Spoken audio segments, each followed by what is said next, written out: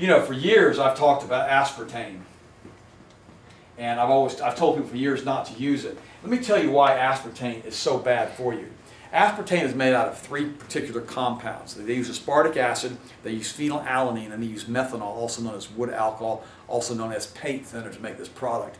It was originally developed back in the early, early 70s when a chemist accidentally spilled some compounds on his table, licked his finger to pick up some paper, and his fingers were sweet.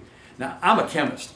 That was stupid. I've never done that. We were always taught never to put stuff in your mouth that you didn't know what it was. This dummy found out something was sweet on his mouth so he went back and analyzed what he had done. He mixed phenylalanine, aspartic acid, and paint thinner together, which is methanol, and basically said, oh, wow, it's sweet. Well, they tried to get it approved through the Food and Drug Administration, but the problem is it caused cancer like everything they tested it on. Brain tumors, brain cancer, seizures, headaches, optic nerve degradation. It made people go blind. You can't drink paint thinner. Okay? Paint thinner is bad. Paint thinner cannot be made non-poisonous, and they try to tell these guys who are trying to market this product, don't use aspartame, don't use paint thinner, but nobody wanted to listen.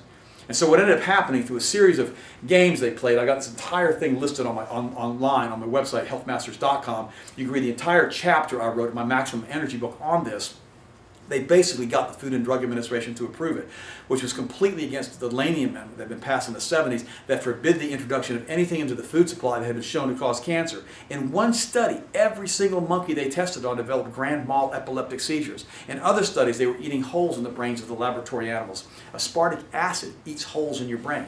Phenylalanine causes permanent nerve and brain damage in anybody with high enough concentrations. And methanol is a neurological poison because it's paint thinner that cannot be made non-poisonous. It also causes blindness. So that's what the constituents of aspartame are. I've seen, I have seen people go blind. I've seen people need brain surgery. I've seen, I've seen multiple people die of brain cancer. Let me tell you one other thing about aspartame.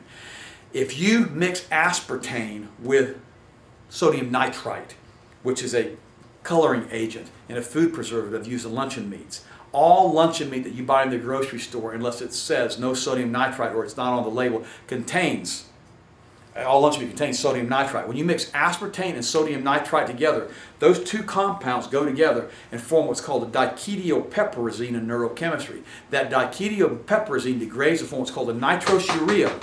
And nitrosoureas are the most effective agent known to man for producing malignant brain tumors in laboratory animals. In other words, if you want a rat to get brain cancer, you give it a nitrosourea or a pepperoni pizza and a diet soda. It gets the same effect. I've had two of my friends now die of brain cancer because of aspartame.